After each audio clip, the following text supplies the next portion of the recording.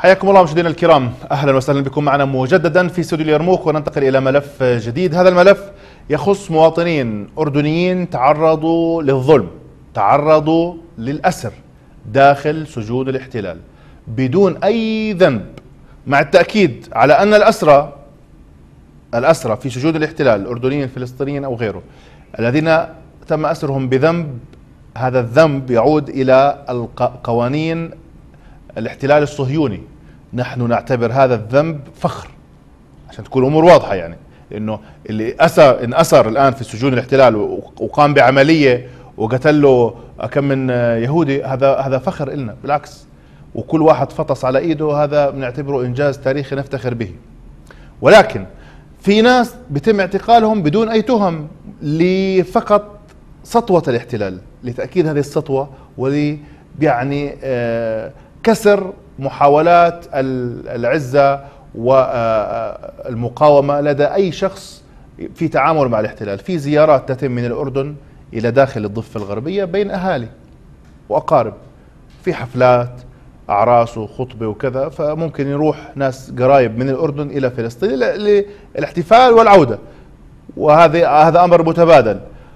في إحدى الزيارات قامت بها مواطنة أردنية هبة اللبدي تم اعتقالها.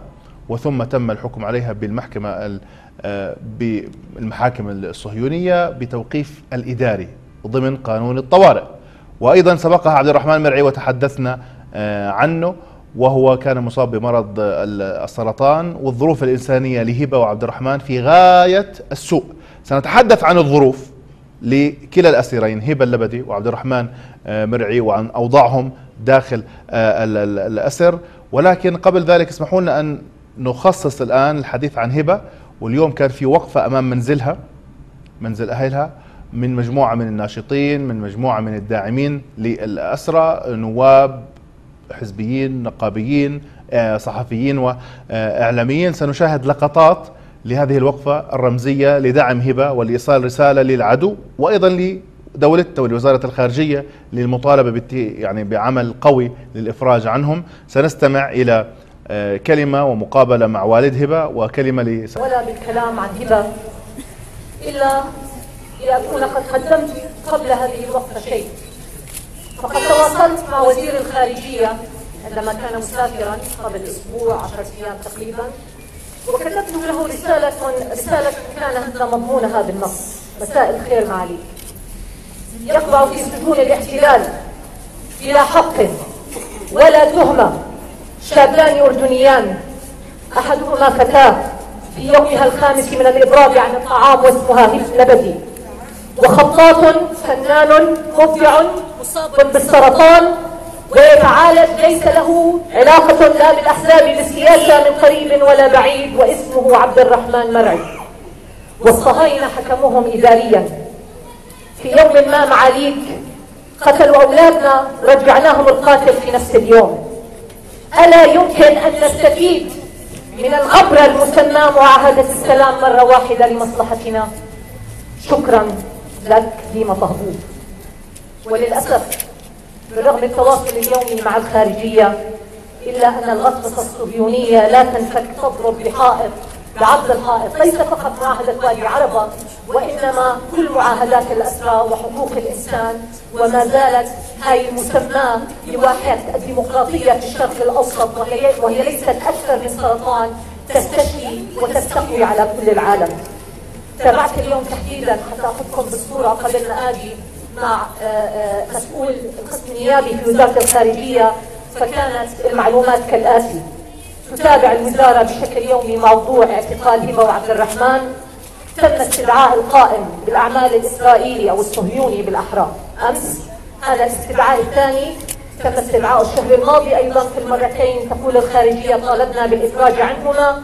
تحسين للأسف هذه الجملة مؤلمة جدا تحسين ظروف الاعتقال. بدنا نحسن ظروف الاعتقال ولا بدنا نطلقهم أصلا من الاعتقال. رفض أي معاملة سيئة تواجههم. قامت السفارة في يافا وتل الربيع بثلاث زيارات زيارات لهبة وعبد الرحمن ويجري الإعداد حاليا لزيارة لأهلهما قريبا. الوزاره على تواصل يومي ومتابعة حثيثه هذا ملخص من الخارجية. ولكن يبدو أننا نغفل جميعا أنه في عامل لا يحتمل هذا الأخذ والرد. ونروح كل يوم ونجيب السفير ويقولوا لنا وتعال وخذني لأقول لك في عامل اللي هو عامل الإضراب عن الطعام. وهذا العامل يهدد حياتهم بالخطر في معركة الأمعاء الخاوية ومعركة الكرامة. فهذا عامل لا يحتمل عامل الوقت الخارجية مطالبة اليوم والآن باتخاذ إجراء حقيقي في مواجهة هذا الصف إنه يا بنكب السفير يا بنستدعي سفيرنا وبنهدد كما هددنا في يوم ما. أيام الملك حسين رحمة الله عليه يا نرجع أولادنا سالمين غانمين يا هالاتفاقية مكتوبة زي ما إحنا كشعب كاتبينها رسالتي الأخيرة للأهل هبة أنا دائما بنظر في سير الشهداء والأسرى. بقول فيهم شيء مميز غريب فقلت خليني أشوف اسمها هبة أصلا وعيلة من اللبد كفر اللبد في فلسطين سمي بهذا الاسم. خليني أحكي لكم بالضبط ليش سمي بهذا الاسم. بسبب ارتفاعه على الجبال وكثافة الأشجار التي كانت تغطي قمم الجبال العالية.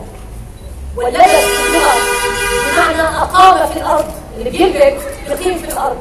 لذلك هبة وعبد الرحمن وكل أسرارنا وأهلنا هم المقيمون وغيرهم العابرين وبإذن الله اليوم أو بكرة رح نحتفل بتحريرهم وتحرير فلسطين يا داني العينين والكفين. إن الخيل زائل. لا غرفة التحرير إماراتية ولا زرد السلاسل السلام عليكم.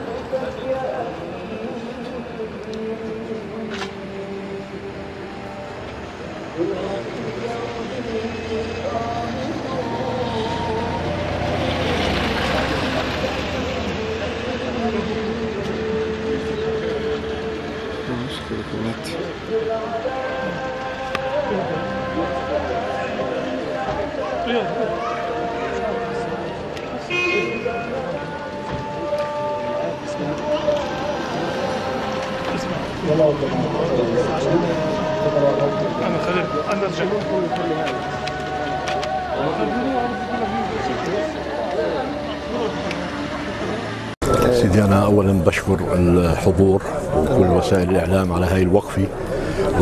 وبطلب من الحكومة زيادة الضغط لأنه الإجراءات اللي حتى الآن هي ما أسفرت عن نتيجة حقيقية. إحنا هدفنا الإفراج وسرعة الإفراج عن هبة لأنها تمر بظروف صعبة. هاي اليوم ال 15 على الإضراب عن الطعام من تاريخ تبلغها بالاعتقال الإداري الغير شرعي والذي لا يعترف به لا إنسانيا ولا دوليا ولا في كافة الأديان وصحتها معرضة للخطر الشديد فنرجو تصعيد إجراءاتهم وضغطهم على حكومة الكيان الإسرائيلي بالسرعة الإفراج عن هبة.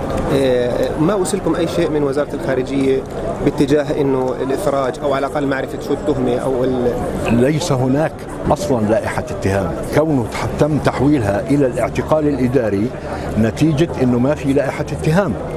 وبالتالي الحكومة على وزارة الخارجية على تواصل معنا من حيث زيارات آه، القنصل الأردني وتطميننا ومن حيث محاولتهم العمل على تصريح زيارة لوالدتها وأخوها كونهم يحملوا الهوية الفلسطينية من أجل أنهم يتمكنوا من زيارتها آه، وحتى الآن لم تسفر عن شيء. أنا تقدمت بطلب إلى الخارجية أنا لا أحمل الهوية الفلسطينية ونفس آه، آه، الشيء حتى الآن آه، يعني رغم أنه حق الطبيعي كأب لمواطنة أردنية معتقلة في ظروف صعبة أني أنا أتمكن من زيارتها حتى الآن لم يتم أي شيء على أرض الواقع.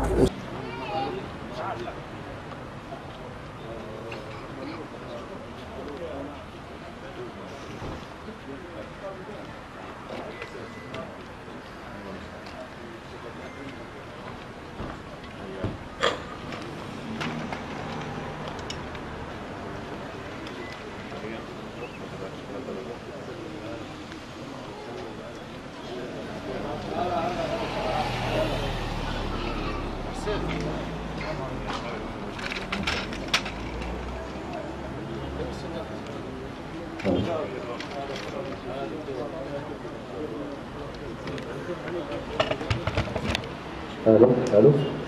تيست تيست معاك؟